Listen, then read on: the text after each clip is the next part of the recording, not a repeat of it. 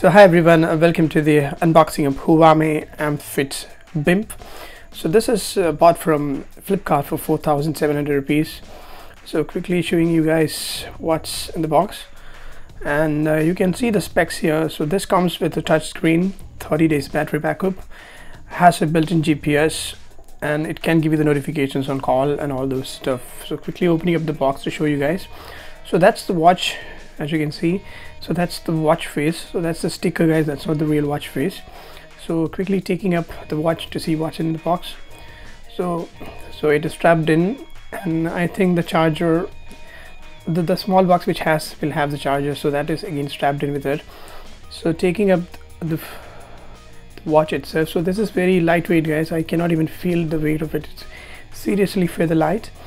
And uh, as you can see it has a crown which you can press and hold. And as you can see that's the heart rate sensor. So uh, the this is just like a normal watch just to see but looks pretty interesting. So uh, that's the charging dock where you can place the watch to charge it. So that's a normal USB guys as you can see.